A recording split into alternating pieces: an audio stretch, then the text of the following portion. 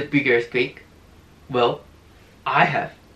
It was very frightening and it made me very worried whether my place is safe to be occupied. It made me wonder, how can we evaluate building safety? Can we believe it for all cases?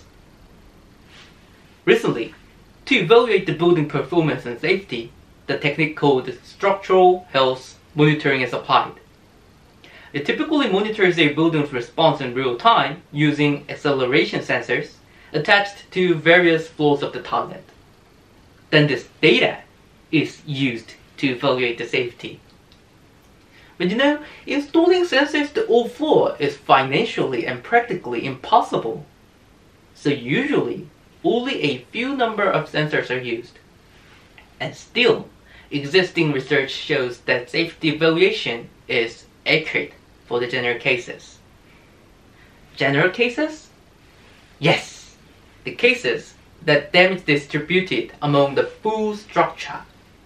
However, there are special cases where damage may concentrate on relatively weak or flexible a few layers of the building.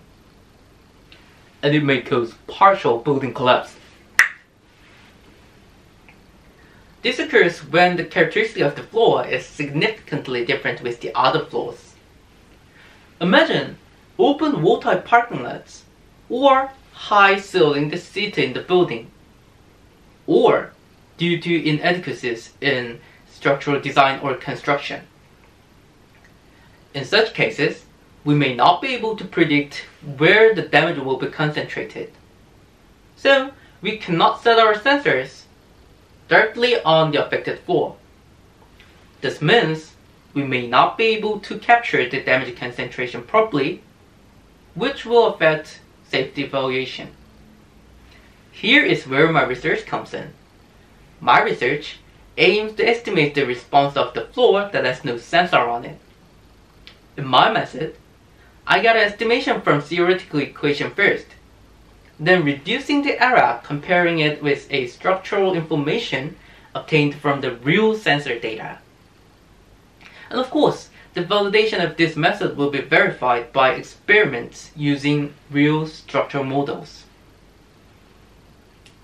The results of my research will make us to estimate the response of each floor regardless of whether there is sensor attached or if damage concentration happens. And it will lead us to more accurate safety evaluation of the structure. So don't worry, what all you need is a few sensors on your building.